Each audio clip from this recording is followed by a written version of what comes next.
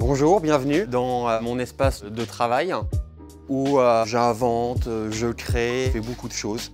Là sous les yeux vous avez le premier Shop Rolls que j'ai fait l'année dernière. Les gens sont libres d'intervenir comme ils le souhaitent, d'écrire ce qu'ils veulent, il n'y a pas de limite. Et d'ailleurs on s'en est rendu compte récemment. Cette maquette il y a un élément en plus qui s'est rajouté, c'est une porte. Je l'ai imaginé exprès pour l'exposition Loading où mon installation dans la rue est présentée. Comme vous pourrez le voir sur un mur de 10 mètres de long et de 3 mètres de haut, il y a deux Shop Rolls qui font chacun 2 mètres carrés et il y a un autre élément aussi que j'ai inventé exprès pour cette exposition.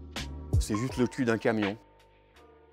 Là, c'est une première parce que j'ai changé de format. Les rouleaux sont présentés à la verticale. Il est intégré comme les autres euh, dans une perspective photographique.